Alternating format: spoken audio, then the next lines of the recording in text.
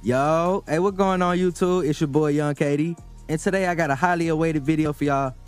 A lot of people asked me to do this video, and the video is explaining compression and showing y'all how to use compression a little better inside of BandLab.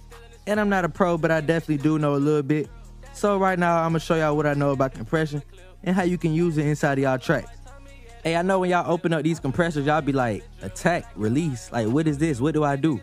So I'm gonna explain what attack and release is and the threshold right now.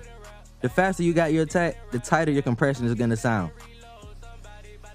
But the slower you got your attack, the more open the compression will sound. So keep that in mind. If you got a lot of compression and it's at a super fast attack, it might sound squashed. And when it comes to the release on the compressor, it's basically just telling your compressor to let go of the compression at this point.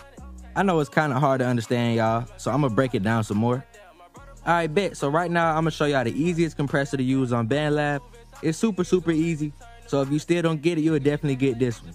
The TechLab BA2A is a very simple compressor, but it's super, super effective. And I feel like y'all really like this one. So the squeeze just basically tells how much to compress.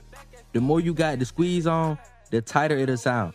So basically just turn this squeeze down or up until the compression sounds right.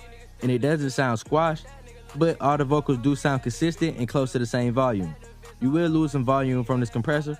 That's why they got the gain button on it. You can just turn the gain up to make up for the volume that you lost from the compression. But the TechLab BA is super, super easy to use. I'm gonna use one of my vocals as an example so I can see how this compressor works. Look like I just left the bank with all the cash on me. That look, look like I just left the bank with all the cash on me. That look, look like I just left the bank with all the cash on me. That look, look like I just left the bank with all the cash on me. That look, look like I just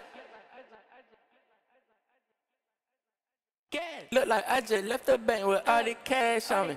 That look, look like I just left the bank with all the cash on me. That look, look like I just left the bank with all the cash on me. That.